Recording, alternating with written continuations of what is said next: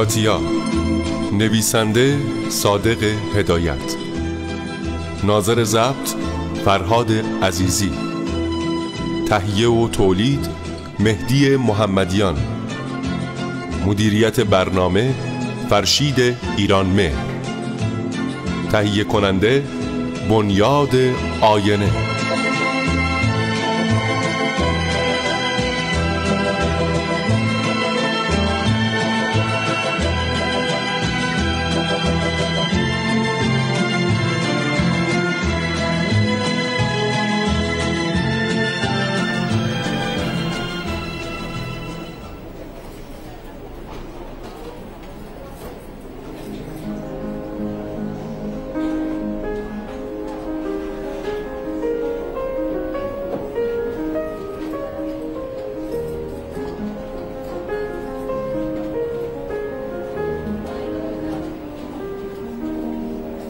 چند شب بود مرتبا مهندس اتریشی که اخیرا به من معرفی شده بود در کافه سر میز ما می آمد اغلب من با یکی دو نفر از رفقا نشسته بودیم. او می آمد اجازه می خواست کنار میز ما می نشست و گاهی هم معنی لغات فارسی را از ما می پرسید چون می‌خواست زبان فارسی را یاد بگیرد.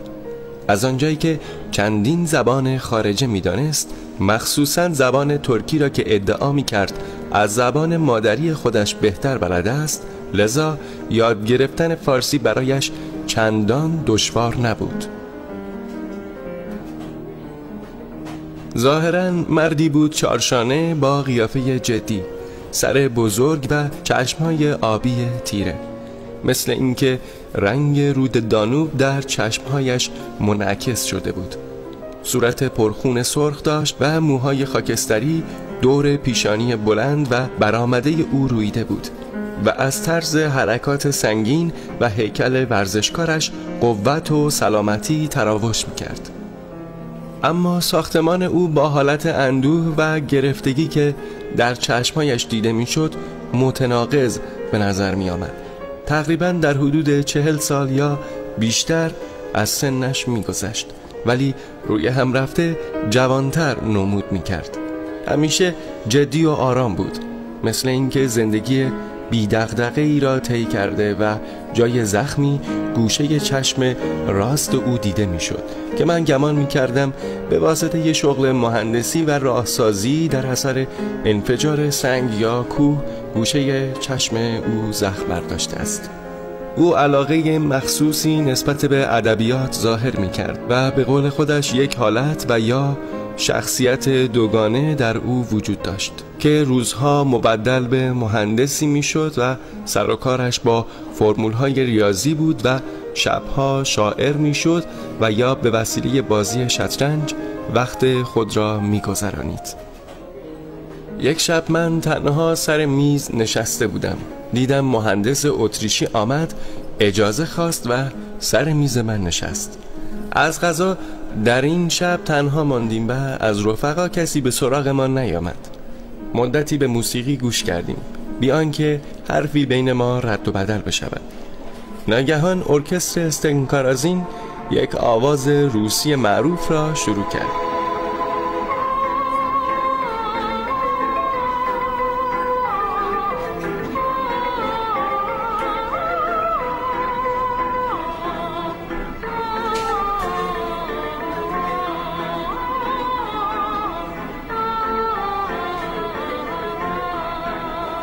در این وقت من یک حالت درد آمیخته با کیف در چشما و صورت او دیدم.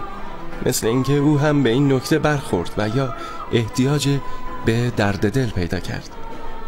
به حالت بیعتنا گفت می‌دونید من یک یادگار فراموش نشدنی با این موزیک دارم. یادگاری که مربوط به یک زن و یک حالت مخصوص افسوس های جوانی من میشه. اوه ولی این ساز روسی است. بله می‌دونم. من یک دوره زندگی اسارت در روسیه به سر بردم. شاید در موقع جنگ جهانی بین المللی 1914 اسیر شده اید. بله از همون ابتدای جنگ من در فرونت سربستان بودم. بعد در جنگ با روزها اسیر شدم. می‌دونید زندگی اسارت چندان گوارا نیست. واضحه اون هم اسارت در سیبری. آیا شما کتاب یادبود خانه مردگان تعلیف داستایوفسکی رو خونده اید؟ بله خوندم ولی کاملا به اون ترتیب نبود چون که ما به عنوان اسیر جنگی بودیم و تا اندازه آزادی داشتیم در صورتی که او با موژیکا در زندان بود. ولی میان ما پروفسورها، نقاشها، شیمیدانها، سنگتراشها، پیرایشگرها، جراحها، موسیقیدانها، شعرا و نویسندگان بودند. با یه چشم مرا که در جنگ گلوله خورده بود در همونجا عمل کردند. در این صورت به شما خیلی سخت نمیگذشته. مقصودتون از سختی چیست؟ واضح است. در ابتدا ملاحظه ما رو می‌کردند. راستش رو می‌خواید؟ در اوایل ما تا اندازه از وضع خودمون راضی بودیم. اگرچه تمام روز رو محبوس بودیم ولی در اردوی خودمون آزادی داشتیم. تئاتر درست کرده بودیم. آلونک هایی برای خودمون ساخته بودیم. به علاوه به هر افسری از قرار 25 روبل در ماه پول جیبی می‌دادند و در اون وقت در سیبری فراوانی و ارزانی بود. اندازه کافی خوراک داشتیم. اگرچه اغلب پول جیبی ما رو نمی پرداختن و بعد هم می‌دونید ما اجازه نداشتیم خارج بشیم. تصور بکنید که ما مجبور بودیم سالها حبس باشیم. من خسته و کسل شده بودم و تمام روز رو به خوندن کتاب میگذروندم. چندی که گذشت یعنی شش ماه بعد وقتی که اسرای ترک به ما ملحق شدن من برای آموختن زبان ترکی با اونها طرح دوستی ریختم. در این اوان با یک جوان عرب آشنا شدم که اسمش عارف ابن عارف از اهل اورشلیم بود. شروع به تحصیل کردم و در مدت کمی زبان ترکی رو یاد گرفتم به طوری که به زبان ترکی کنفرانس می‌دادم. چون بین ما محصلینی بودند که تحصیلات خودشون رو تموم نکرده بودند به ما اجازه دادند که درس بدیم. در این صورت درس ها و کنفرانس ها دایر شد. نمایش تئاتر می‌دادیم و زنهای روسی از خارج بهترین تزیین و لباس و لوازم دیگر رو برامون میفرستادن. اغلب یه چیز عالی عذاب در میومد به طوری که از خارج به تماشای نمایش های ما می اومدن پس برای خودتون یک جور زندگی مخصوصی داشتیم شما گمان می‌کنید من فقط قسمت خوبش رو شهر دادم. شما فراموش می‌کنید که ما در یک اردو حبس شده بودیم که روی تپه واقع شده بود و به مسافت دو کیلومتر با شهر کراسنویارسک فاصله داشت. اطراف اردو سیم خاردار کشیده بودند و تیرهایی به طول 6 متر به زمین کوبیده شده بود و فاصله به فاصله باروهایی بود که پاسبانان تفنگ به دست کشیک می‌دادن ولی من از آلونک خودم بیرون نمی اومدم و همه وقتم صرف خوندن کتاب می شد و یا کنفرانس های خودم رو تهیه می کردم تنها چیزی که به من دلداری می‌داد این بود که می‌دیدم این همه اشخاص تحصیل کرده صنعتگر دیگر همه جوان و خوشبخت یا پیر و بدبخت با سرنوشت من شریک بودن. اما شما فراموش می‌کنید که از خطر جنگ ترانچه صدای شلیک گاز خفه کننده و مرگ دائمی که جلوی چشمتان بوده محفوظ بوده اید. گفتم شما از وضع ما خبر ندارید. فقط روزی دو ساعت ما حق تفریح و گردش داشتیم. لباس ها به تنمون چین خورده بود و چرک شده بود. لباس زیر نداشتیم. زمستون هوا چهل یا پنجاه درجه زیر صفر بود و تابستون در سی درجه حرارت ما مثل حیوانات چهارپا در آقل حبس بودیم. به علاوه حریق ناخوشی های مصری و وقایع وحشت انگیزی که رخ می‌داد. همه اینها بدتر از جنگ بود. گاهی از میان ما یکی دیوانه می‌شد. یک شب من با رفقا ورق بازی می کردم یکی از رفقا تبر به دوش وارد شد و چنان ضربت شدیدی روی میز زد که هممون از جا جستیم و اگر تبر رو از دستش نگرفته بودن هممون رو تیکه پاره کرده بود. یک نفر از اهالی مجار دیوونه شده بود. ادای سگ رو در می آورد. دائم پارس می‌کرد و اسباب سرگرمی ما شده بود. بزرگترین چیزی که به من تسلیت می‌داد وجود رفیق عربم عارف بود.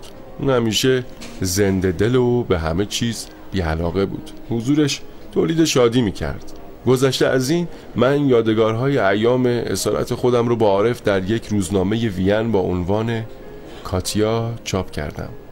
خیلی مفصله. نمی‌تونم شرح بدم. به چه مناسبت کاتیا؟ درسته. می‌خواستم راجع به او صحبت بکنم. از موضوع پرت شدم. اون برای من اولین زن و آخرین زن بود و یک تأثیر فراموش نشدنی در من گذاشت. می‌دونید؟ همیشه زن باید طرف من بیاد و هرگز من به طرف زن نمیرم. چون اگر من جلوی زن برم اینطور حس می‌کنم که اون زن برای خاطر من خودش رو تسلیم نکرده. ولی برای پول یا زبانبازی یا یک علت دیگری که خارج از من بوده است. احساس یه چیز ساختگی و مصنوعی رو می‌کنم. اما در صورتی که اولین بار زن به طرف من بیاد اون رو میپرستم. حکایتی که میرم نقل بکنم یکی از این پیش آمد هاست. این تنها یاد بوده عاشقانه است که هرگز فراموش نخواهم کرد. گرچه 18 و یا 20 سال از اون میگذره اما همیشه جلوی چشمم مجسم است.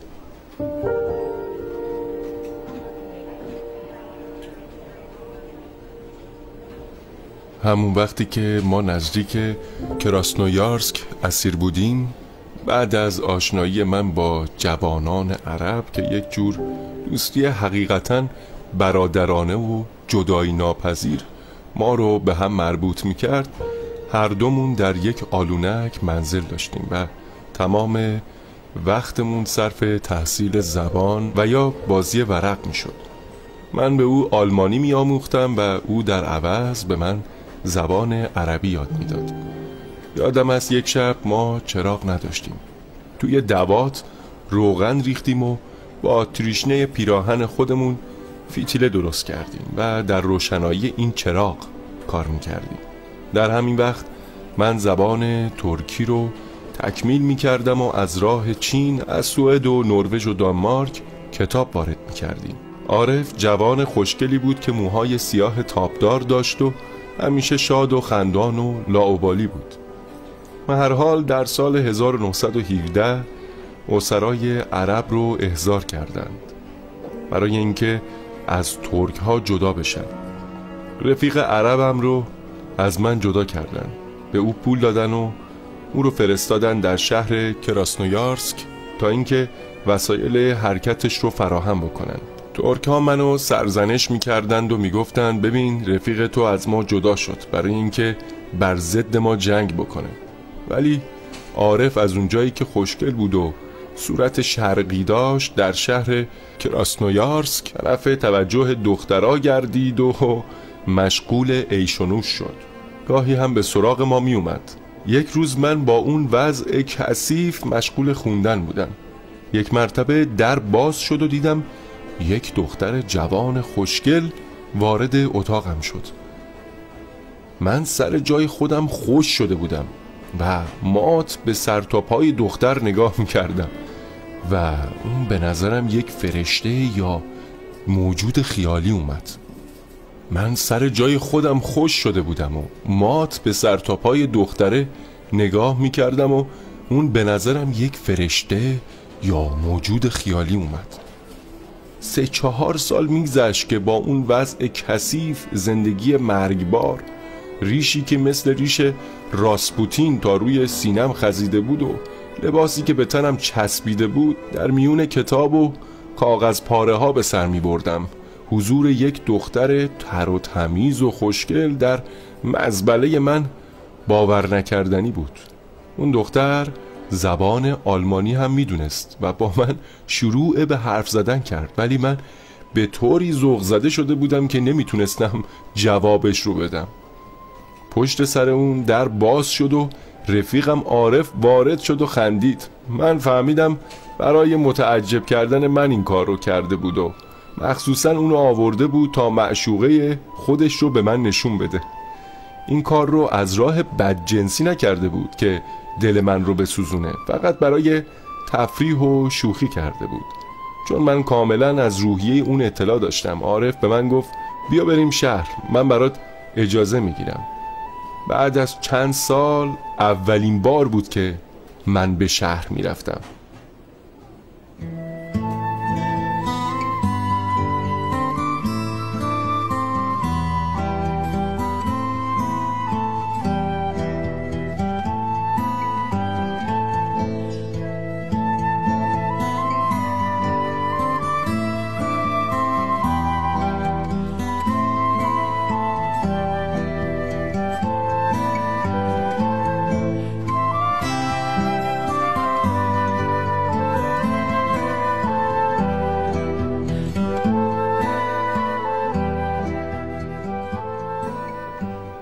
بالاخره با عارف و کاتیا که اجازه مرا گرفت به طرف شهر روانه شدیم. در جاده برف ها کم کم آب می شد و بهار شروع شده بود. نمی‌تونید تصور بکنید که من چه حالی داشتم. از کنار رودخانه ینیسی رد می شدیم من از شادی در پوست خودم نمی گنجیدم و به کلی محو جمال اون دختر شده بودم. تمام راه رو دختر از هر در با من صحبت می کرد من مثل مرده ای که پس از سالیان دراز سر از قبر در آورده و در دنیای درخشانی متولد شده جرأت حرف زدن با اون رو نداشتم و نمی‌تونستم جوابش رو بدم تا اینکه بالاخره وارد شهر شدیم و ما رو در اتاقی برد که در اون چراغ برق میز با رومیزی سفید صندلی و تخت خواب بود. من مثل دهاتیا به در و دیوار نگاه می کردم و از خودم می پرسیدم اون چه می بینم به بیداریست یا به خواب؟ من و عارف کنار میز نشستیم. دختر برامون چایی آورد. بعد با من شروع به حرف زدن کرد. از اون دخترهای مجلس گرم کن و کاربر و حراف بود. بعد فهمیدم که دختر نیست. شوهر او در جنگ کشته شده بود و یک بچه کوچک هم داشت. در خانه اونها یک مهندس و زنش هم بودند و این زن که با زن مهندس آشنایی داشت با هم زندگی می کردند گویا اتاق رو از او کرایه کرده بود. شب رو در اونجا گذروندیم. یک شبی که هرگز تصورش رو نمی‌تونستم بکنم. من برای اون زن جوان عشق نداشتم. اصلا جرأت نمی کردم این فکر رو به خودم راه بدم. اون رو می پرستیدم او برای من از گوشت و استخوان نبود یک فرشته بود. فرشته نجات که زندگی تاریک و بی معنی و یک نواخت منو یک لحظه روشن کرده بود. من نمی‌تونستم با اون حرف بزنم و یا دستش رو ببوسم. صبح برگشتم ولی با چه حالی؟ همینقدر می‌دونم که زندگی در زندان برام تحمل ناپذیر شده بود. نمی‌تونستم بخوابم و نه بنویسم و نه کار بکنم. از دو کنفرانس هفتگی خودم به عذر ناخوشی کنارگیری کردم.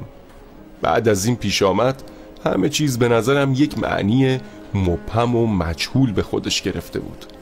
مثل اینکه همه این وقایع رو در خواب دیده بودم دو سه هفته گذشت یک کاغذ از کاتیا برام اومد به چه وسیله مبادله کاغذ می کردید؟ زیر یکی از تیرها رو که دور از چشمانداز پاسبانان بود محبوسین کنده بودند و ته تیر رو بریده بودیم به طوری که برداشته و گذاشته می‌شد.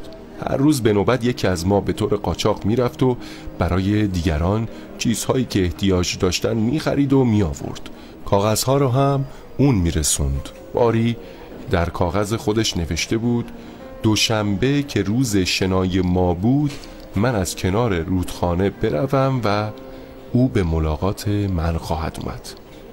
گویا عارف براش گفته بود ما هفته ای دو روز حق شنا داشتیم.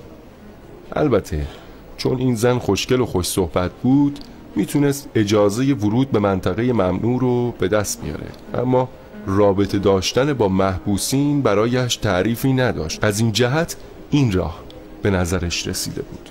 باری روز دوشنبه موقعی که ما رو از کنار رودخانه می بردند من با ترس و لرز به محلی که قرار گذاشته بود رفتم.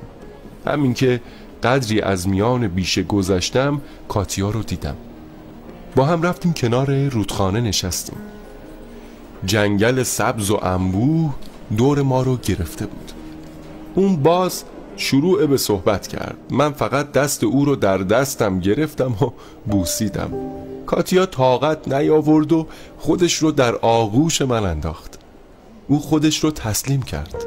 در صورتی که من هیچ وقت تصورش رو به خودم راه نداده بودم. چون او برای من یک موجود مقدس دست نزدنی بود. از اون روز به بعد زندگی محبس بیش از پیش برایم سخت و ناگوار شد. سه چهار بار همین کار رو تکرار کردیم و در روزهای شنا من دزدکی از او ملاقات می کردم تا اینکه یک هفته از او بیخبر موندم. بعد کاغذ دیگری از او رسید و نوشته بود نوبت دیگر که به شنا می رویم او می آید و لباس مبدل برایم می آورد من به رفقایم اطلاع دادم که ممکن است چند شب غیبت بکنم و از اونها خواهش کردم که به جای من امضا بکنند. از موقع سرشماری که چهار به چهار در محوطه حیات می ایستادیم و یک نفر ماها رو می شمرد ترسی نداشتیم چون که این تنها موقع تفریح ما بود و همیشه ادهی جابجا می شدن به طوری که سرشماری دقیق هیچ وقت صورت نمی گرفت به هر حال روز موعود کنار رودخانه به او برخوردم دیدم برایم یک دست لباس بلند چرکس و یک کلاه پوستی آورده. لباس رو پوشیدم و کلاه رو به سر گذاشتم و راه افتادیم.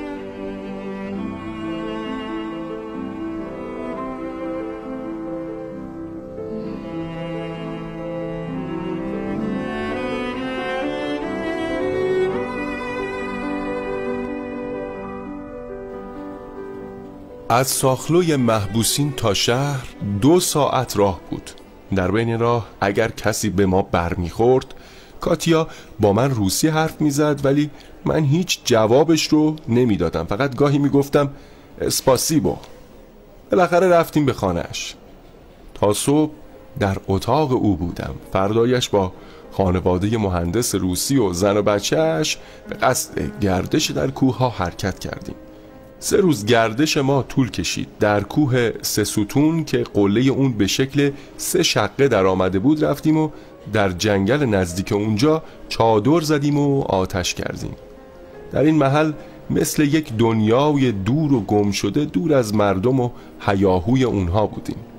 خوراک های خوب میخوردیم و مشروب خوب می نوشیدیم و از لای شاخه درختها ستاره ها رو تماشا می کردیم نسیم ملایم و جانبخشی میوزید. کاتیا شروع به خواندن کرد. آواز کشتیبانان ولگا و استنکارازین رو با صدای افسونگری می‌خوند و مهندس روسی با صدای بم به او جواب می‌داد. صدای کاتیا مثل زنگهای کلیسا در گوشم صدا می‌کرد. من به جای خودم مونده بودم. اولین بار بود که این آواز آسمانی رو میشنیدم.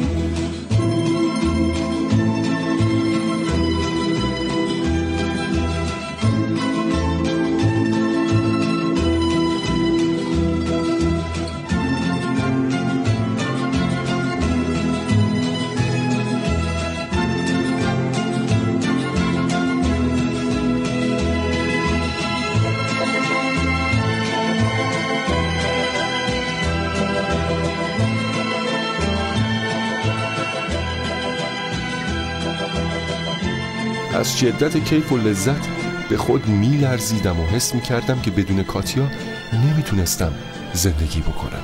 این شب تأثیری در زندگی من گذاشت. تلخی گوارایی حس می‌کردم که حاضر بودم همون ساعت زندگی من قطع بشه و اگر مرده بودم تا ابد روح من شاد بود. بالاخره برگشتیم. هرگز فراموشم نمی شود صبح که بیدار شدم کاتیا سماور را آتش کرده بود برایم چایی میریخت که در باز شد. و عارف وارد شد. من سر جایم خشکم زد. او هیچ نگفت. فقط نگاهی به کاتیا کرد و نگاهی به من انداخت. بعد در را بست و رفت. من از کاتیا پرسیدم مگر چه شده؟ او گفت بچه است ولش کن. او با همه دخترها راه دارد. من از اینجور جوانها خوشم نمی آید به درک او کسی است که سر راهش گلها را میچیند بو می کند و دور می اندازد رفیقم رفت و دیگر از آن به بعد هرچه جویا شدم اثرش را نیافتم.